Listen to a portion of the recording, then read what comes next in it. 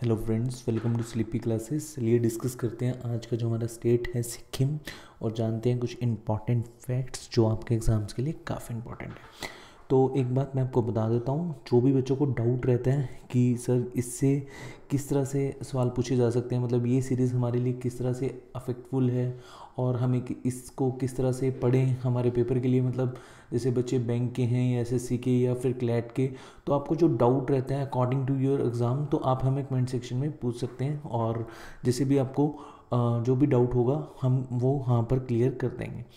तो चलिए, कैपिटल है, गैंगटोक चीफ मिनिस्टर है पवन कुमार चामलिंग और इनको कहा जाता है ग्रीन सीएम। एंड, ये कौन सी पार्टी से हैं? एस डी एफ़ गवर्नर है यहाँ पर गंगा प्रसाद। अगर हम देखें लेजिस्लेटिव असेंबली सीट्स मतलब बोले तो जो आपकी विधानसभा है उसकी सीट्स कितनी हैं? Thirty two. तो एक बात बताता हूँ आपको, बहुत ही छोटा सा फैक्ट है। जब हमारा कॉन्स्टिट्यूशन बन रहा था तो उसमें एक चीज़ फिक्स करी गई थी कि जो लेजिस्लेटिव असेंबली है, उसकी मिनिमम सीट्स इतनी होंगी और मैक्सिमम सीट्स इतनी होंगी। मतलब मिनिमम सीट्स हैं सिक्सटी कोई भी स्टेट की और maximum seat hardly five hundred होंगी।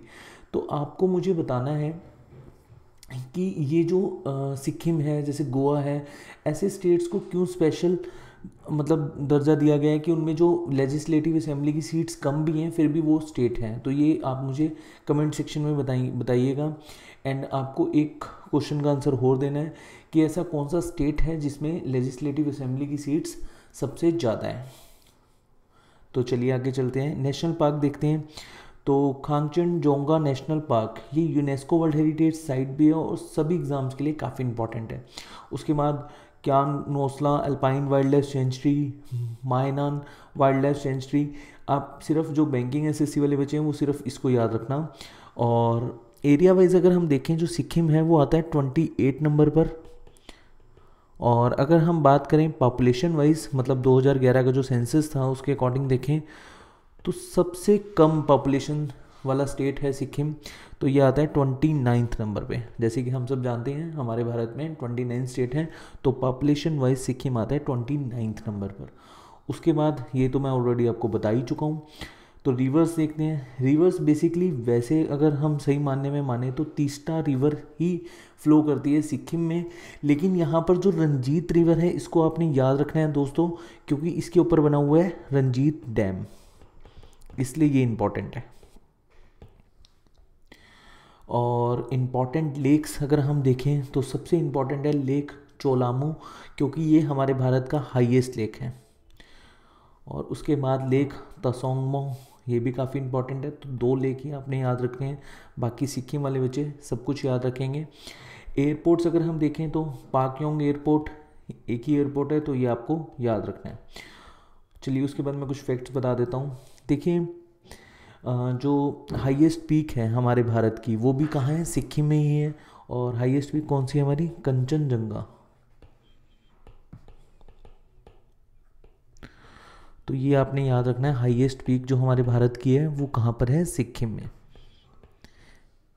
वैसे तो पहले के टू थी, या जिसको आप गॉडविन बोल देते हो या काराकोरम बोल देते हो, लेकिन राइट नाउ है कंचनजंगा क्योंकि जो के टू है वो हमारे अब इंडिया के अधीन नहीं आता, वो पाकिस्तान ऑक्यूपाइड कश्मीर के अधीन है। तो इसलिए हमारे भारत की हाईएस्ट पीक है कंचनजंगा और वर्ल्ड की थर्ड हाईएस्ट पीक है ये। उसके बाद एक नथुला पास है। तो नथुला पास कनेक्ट करता है इंडिया को लहासा से। अब लिहासा क्या है? ये तिब्बत की कैपिटल है। राइट नाउ वैसे तो तिब्बत भी चाइना का ही पार्ट है। देखो, एक फैक्ट बताता हूँ आपको। 1962 में जब इंडो चाइना वार हुआ तो इस नथुला पास को बंद कर दिया गया था और ये एक सिल्क रूट था। और जो कि इंडिया को तिब्बत से जोड़ता था, लेकिन ये बंद कर दिया गया था जब 1962 का वार हुआ था। इसको रीओपन किया गया था सिक्स जुलाई 2006 बहुत इंपॉर्टेंट फैक्ट है। तो फ्रेंड्स ये याद रखना। उसके बाद मैं आपको बता देता हूँ कि जो सिक्किम है, वो हमारे भारत का पार्ट कब बना था? सिक्सटीन मई 1975 उसके बाद देखते हैं फोक डांस तो सबसे इंपॉर्टेंट है यागछम डांस सिंघी छाम, ये भी काफ़ी इंपॉर्टेंट है फेस्टिवल सबसे important Losar festival Losar festival पर भी एक आपको फैक्ट बता देता हूँ, जो आपको याद रखना है, लोसर फेस्टिवल में एक डांस परफॉर्म किया जाता है, गुम्पा डांस। और ये कौन परफॉर्म करते हैं? बुद्धिस्ट, जो बुद्धिस्ट फॉलोवर हैं, वो इस फेस्टिवल को बहुत धूमधाम से मनाते हैं। ये एक तरह का न्यू ईयर फेस्टिवल है। तो याद आपको ध्यान रखना है, गुम्पा डांस परफॉर्म किया जाता है लोसर फेस्टिवल के टाइम पर और हमारे भारत में आफ्टर ले लद्दाख मतलब सबसे आपको ज़्यादा पता ही है कि जो बुद्धिस्ट लोग हैं, जो बुद्धिस्ट फॉलोवर हैं, वो सिक्किम में लगभग 28 परसेंट है। तो ये भी फैक्ट्स आप ध्यान रख सकते हैं।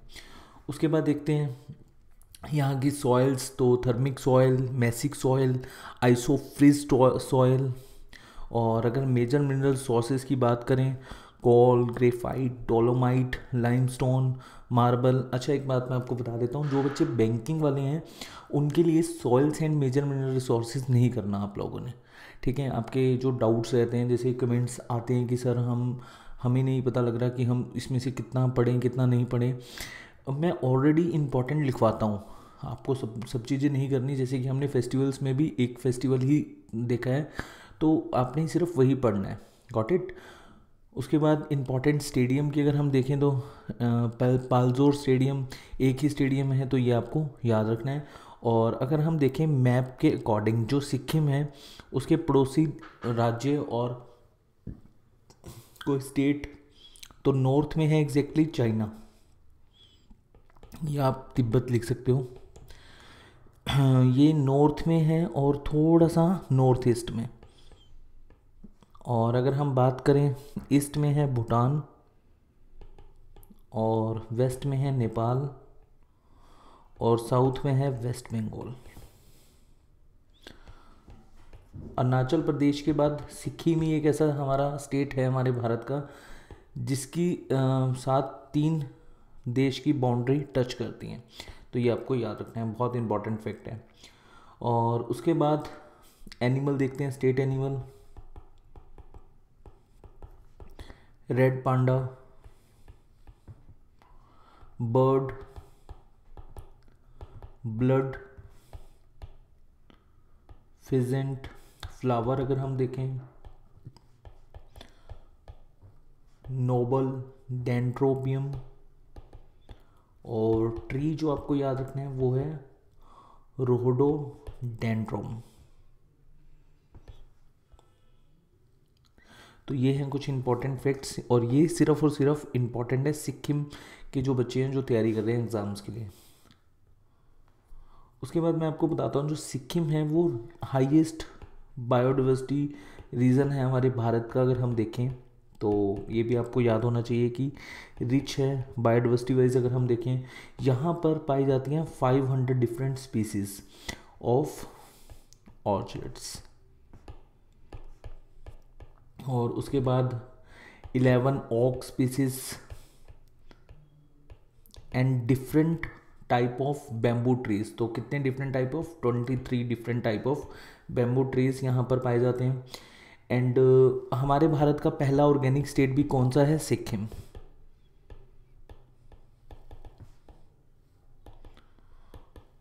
और ये तो मैं आपको बता ही चुका हूँ highest producer of cardamom cardamom यहाँ पर सबसे ज़्यादा प्रोड्यूस किया जाता है। और एक चीज़ आपको याद रखना है एक क्वेश्चन पूछा गया था ये क्वेश्चन मैं पूरा लिख देता हूँ। In Tibetese language Sikkim is called ये क्वेश्चन पूछा गया था एसएससी में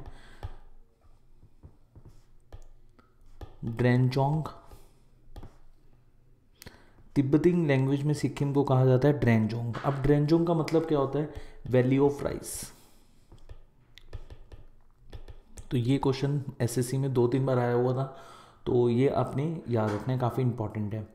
और अगर क्वेश्चन पूछा जाए रॉयल कैपिटल ऑफ़ सिक्किम तो रॉयल कैपिटल ऑफ़ सिक्किम है रोब डेन दिस।